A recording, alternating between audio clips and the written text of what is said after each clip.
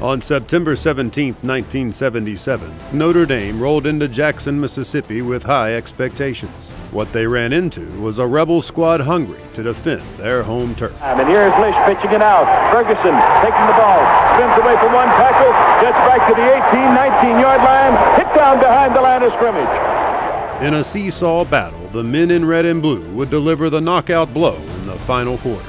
Ellis with his hands under the center. His setbacks up Perry and Story. Now he has the snap. He's back to throw. He looks and fires over the middle. It's completed to 45. Running with the football laterally across the field is L.T. Smith to the midfield flag, to the 40, to the 35-yard line. He's to the Notre Dame 30, to the 25, to Notre Dame 22-yard line. Ross Browner finally brought him down. He has the ball down at the 10-yard line. He rolls out to the right-hand side. Looks the ball is batted into the air. It's